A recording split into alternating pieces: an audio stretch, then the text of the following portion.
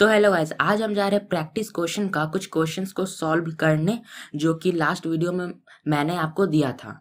तो अगर आपने उसको सॉल्व नहीं किया है तो डिस्क्रिप्शन में लिंक होगा डाउनलोड कर लेना उसको, उस पीडीएफ को और फिर से ट्राई करना। तो स्टार्ट करते हैं। तो सबसे पहला क्वेश्चन इसमें दिया हुआ है कि इसमें लिखा हुआ है, पहला क्वेश्चन तो कमेंट आउट करते हैं और वन लिख करके हम डायरेक्टली सॉल्व करते हैं, ठीक है? तो इसमें लिखा हुआ है कि create a variable named first and assign string value to it तो इसमें बोल रहा है कि हमको एक वेरिएबल बनाना है, जिसका नाम फ़र्स्ट होगा और उसमें हमको एक स्ट्रिंग वैल्यू स्टोर करना मतलब कि हमको उसमें स्ट्रिंग वैल्यू स्टोर करना है। तो हम उसमें क्या स्टोर कर सकते हैं? हम जैसे कि हम अपना नाम को स्टोर कर सकते हैं। इसको इंटर करने के बाद हम यहाँ पे सिंपली इसको हम प्रिंट करेंगे और इसमें हम फ़र्स्ट लिख देंगे। तो देखो क्वेश्चन बोल रहा है कि एक वेरिएबल बनाओ जिसका नाम फ़र्स्ट हो और उसमें एक स्ट्रिंग वैल्यू स्टोर करो। जैसे कि यहाँ पे मैंने अपना नाम स्टोर किया, यहाँ पे इसके बदले हम कुछ भी स्टोर कर सकते हैं, वो स्ट्रिंग होना चाहिए। और अब इसको हम रन करके देख लेते हैं कि कोड रन करने के बाद हमारा यहाँ पे अभिषेक प्रिंट हो गया। तो देखो ये हमारा क्वेश्चन को सॉल्व कर दिए। क्या किए इसमें? बस करना था कि एक फ़र्स्ट नाम का वेरिएबल बनाना था और उसमें हमको एक स्ट्रिंग स्टोर करना था। तो ये तो हो गया हमारा फ़र्स्ट क्वेश्चन। अब सेकंड क्वेश्चन देखते हैं। सेकंड क्वेश्चन में लिखा हुआ है कि create a variable name x and assign a value hundred to it मतलब कि हमको एक एक्स नाम का वेरिएबल बनाना है और उसमें हमको हंड्रेड स्टोर करना है वैल्यू तो सिंपली हम एक्स इक्वल्स टू हंड्रेड कर दिए और अब इसको हम प्रिंट करके देखते हैं, जिसमें हम एक्स इंटर करेंगे और अब इसको हम रन करके देखते हैं। तो यहाँ पे देखो, हमारा यहाँ पे अभिषेक और हंड्रेड प्रिंट हो गया तो सेम पहला और दूसरा क्वेश्चन भी सेम था।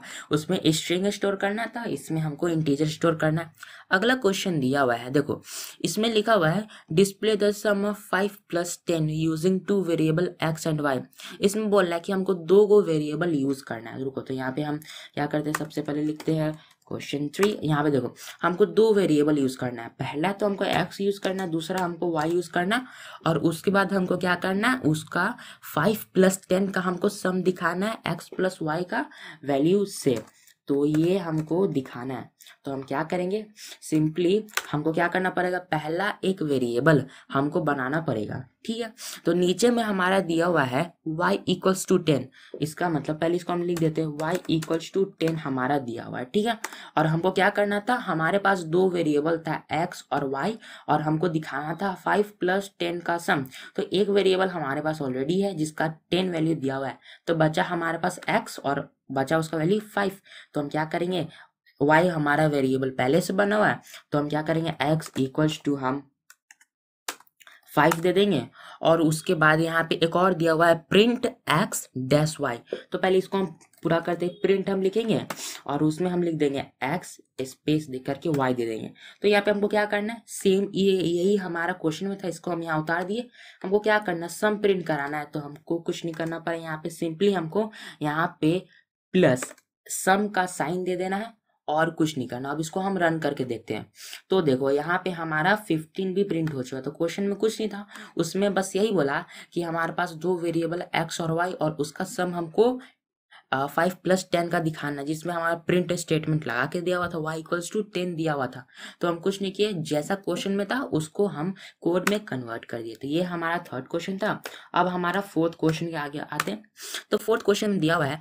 The following code example would print the data type of x what what data type would that be इसका मतलब क्या? हमारे पास एक वेरिएबल दिया हुआ एक्स इक्वल्स टू यहाँ पे दिया हुआ एक्स इक्वल्स टू फाइव हमको क्या करना है? हमको इसका डेटा टाइप पता करना है। तो सिंपली हमको क्या करना पड़ेगा? डेटा टाइप पता करने के लिए प्रिंट लिखना पड़ेगा।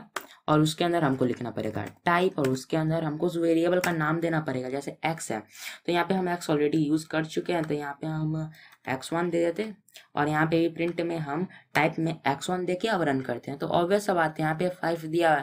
तो ये एक इंटीजर वैल्यू है। तो क्लास इंट यहाँ पे क्लास इंट यहाँ पे हमारा आ चुका है। तो ये फोर्थ क्वेश्चन भी हम सॉल्व कर चुके लास्ट क्वेश्चन दिया हुआ है। सेम है, इसमें भी हमको डेटा टाइप ही पता करना है। तो ऑब्वियस सा बात है हेलो वर्ल्ड दिया हुआ है। तो कुछ नहीं हो क्या होगा? ये आपको देखना है। तो ये एज अ क्विज आपके लिए आपको बताना कमेंट में कि ये हेलो वर्ल्ड का कौन सा डेटा टाइप होगा। तो thanks for watching my video अगर ये पीडीएफ आपके पास नहीं है तो डिस्क्रिप्शन में लिंक होगा। डाउनलोड कर लेना। बाय